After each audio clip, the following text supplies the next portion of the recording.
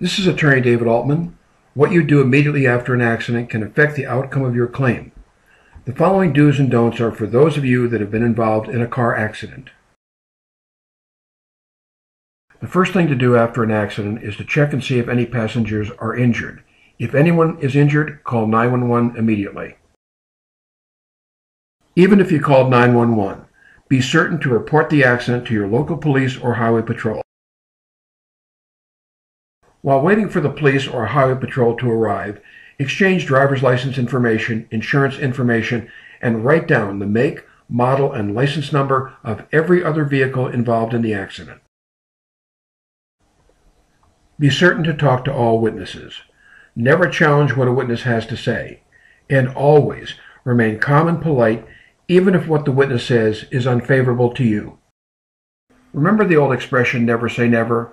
Well, forget you ever heard it. Never, ever admit you were at fault for an accident, and never say that you were sorry or apologize.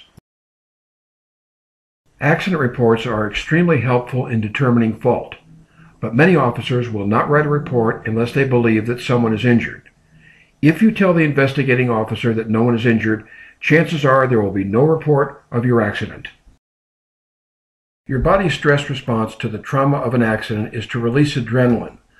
Adrenaline often blocks a person's awareness of injury or pain at the scene of an accident. So never tell anyone at the scene that you are not injured. Do your own on-scene detective work.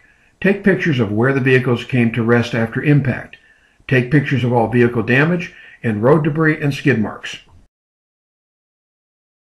To document your injuries, take pictures of any cuts, bruises, scrapes, wounds, or other visible injuries. If those injuries appear more pronounced later, take a second or third set of photographs. Be certain to obtain prompt and consistent medical or chiropractic treatment for all of your injuries. Your record of treatment documents not only your injuries, but also your pain and suffering long after you cannot recall just how badly you were injured. The biggest single mistake you can make is to report the accident to your insurance company from the scene. Rushing to report an accident leads to mistakes that can later undermine or even defeat your claim.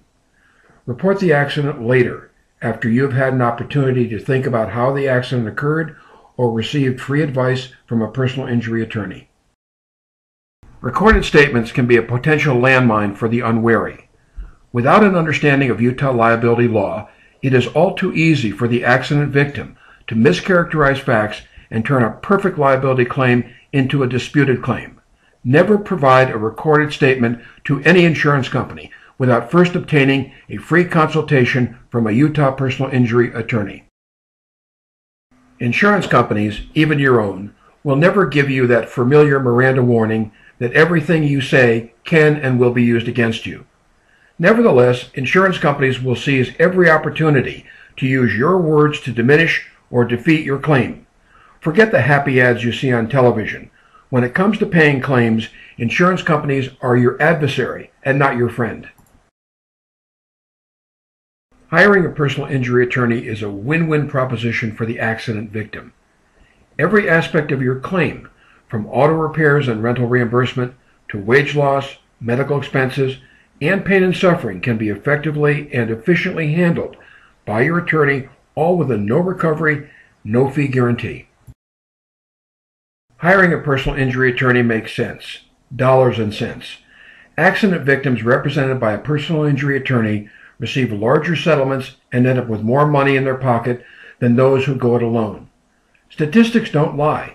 Settlements paid to represented claimants, on average, are nearly five times greater than settlements paid to unrepresented individuals.